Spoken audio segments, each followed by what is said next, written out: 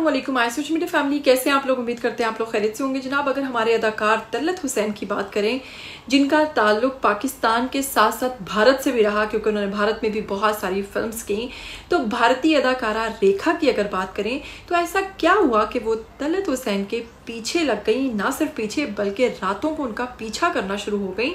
और फिर तलत हुसैन ने उनसे अपना पीछा कैसे छुड़ाया? और वो कैसे उनसे इतनी बुरी तरीके से डर गए?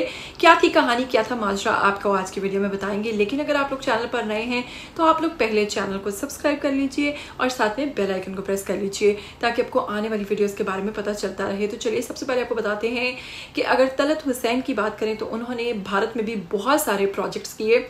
ना सिर्फ़ भारत में, बल्कि पाकिस्तान में भी वो बहुत अच्छे और बहुत मंजे हुए आर्टिस्ट थे।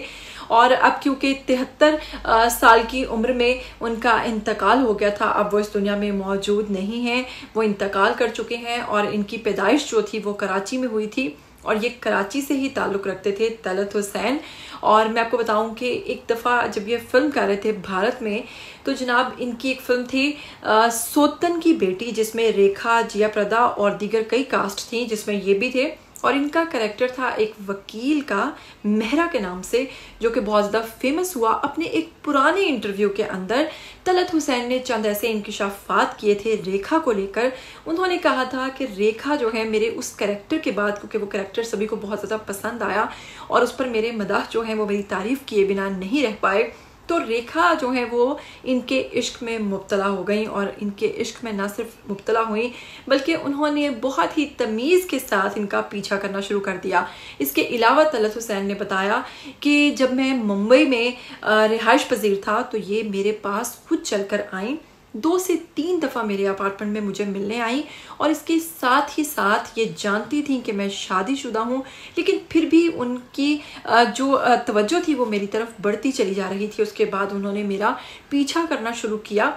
और वो मुझे मुसलसल फॉलो करना शुरू हो गई। तो मुझे लगा कि दाल में कुछ काला है तो अपनी जान बचाने में ही आफियत समझो। बहुत मुश्किलों से रेखा से पीछा छुड़वाया। आहिस्ता आहिस्ता करके पीछे हटना शुरू किया, क्योंकि रेखा जो है, अगर मैं पीछे नहीं हटता तो यकीनन यकीनन वो मेरे इश्क में मुबतला होने के बाद मुझे शादी का प्रपोज़ल देने वाली थी। अगर अदाकारा रेखा की बात करें तो आप लोग जानते हैं कि अभी तक वो सिंगल हैं और इससे पहले वो अमिताभ बच्चन के इश्क में भी मुबतला रही, लेकिन अमिताभ बच्चन ने उन्हें धोखा दिया और उन्हें छोड़कर जिया।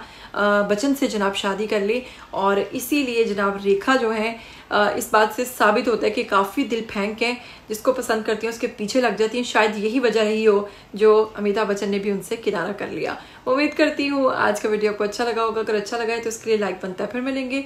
तब तक के लिए मुझे दीजिएगा इजाज़त। टिल देन टेक केयर अल्लाह हाफिज़।